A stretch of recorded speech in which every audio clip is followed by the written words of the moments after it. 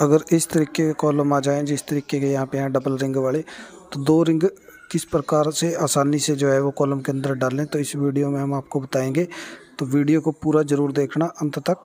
तो एक कॉलम, जो फ़ोटो में आप देख रहे हैं, ये डबल रिंग का कॉलम है, जिसमें दो रिंग डले हुए हैं और कॉलम को जो है इस प्रकार से बांधा जाता है, जिसमें कि जो बाहर वाले चार सरिए हैं, उनको बड़ा रिंग कवर करता है, जो अंदर वाले चार सरिये हैं उनको अंदर वाला जो छोटा रिंग है वो वो कवर करता है। तो जो छोटा रिंग है, वो डालने में बहुत परेशानी होती है। जो बाहर का जो सिंगल रिंग होता है, वो ये डालने में इतनी दिक्कत नहीं होती। लेकिन जब हमें इस प्रकार के कॉलम बांधने होते हैं, दो रिंग वाले तो उसके अंदर जो है, अंदर वाला रिंग डालने में बहुत ज़्यादा परेशानी होती है, जिससे कभी कभी हाथों पे जो है, वो चोट भी लग जाती है। आज हम आपको आपको इस तरीके से इसमें रिंग नहीं डालने हैं, जिस तरीके से ये भाई यहाँ पे डाल रहा है। तो इस तरीके से रिंग डालने से क्या है, हाथों पे चोट लगने के चांसेस ज़्यादा रहते हैं।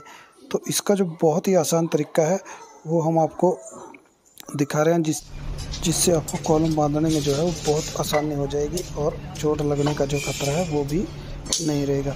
तो आपको करना क्या आपको इस तरीके से बाहर वाले जो है, चार सरिये सिंगल रिंग के साथ आपको बाँध लेने हैं। और बांधने के बाद उसमें जो ये रिंग डालने हैं, ये रिंग डालने के लिए हमें क्या करना है तो हमें जो हमारे चार सरिये बंधे हुए हैं, उनके ऊपर, रिंगों के ऊपर इस तरीके से दो सरिये।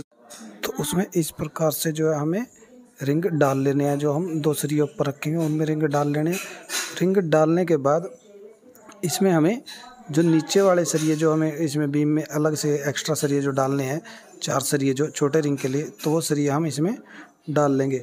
तो सरिये डालने के बाद हमें क्या करना है तो जो हमारे ऊपर हमने एक्स्ट्रा सरिये रखे थे, उनको हमें इसमें से निकाल देना है। कुछ इस प्रकार से, जिस प्रकार से यहाँ पे निकाल ले जा रहे हैं।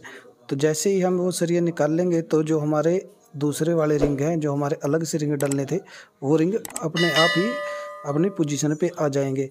तो फिर हमें क्या करना है तो सरियों को उठा करके फिर उनको हमें टांके लगा देना है। तो जैसे यहाँ पे ये सरिया निकालने के बाद सभी रिंगों के साथ में रिंग जो है वो आ गए हैं और उसके बाद हमें उठा करके इनको रिंगों को और फिर बाँध देना है।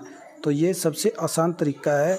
जब डबल रिंग का कॉलम हमारे पास आए तो उसमें दूसरा रिंग जो डालने का तरीका है, वो ये तरीका है। इस तरीके से आप बिल्कुल आसानी से बिना हाथों पे चोट लगे ये रिंग डाल सकते हैं।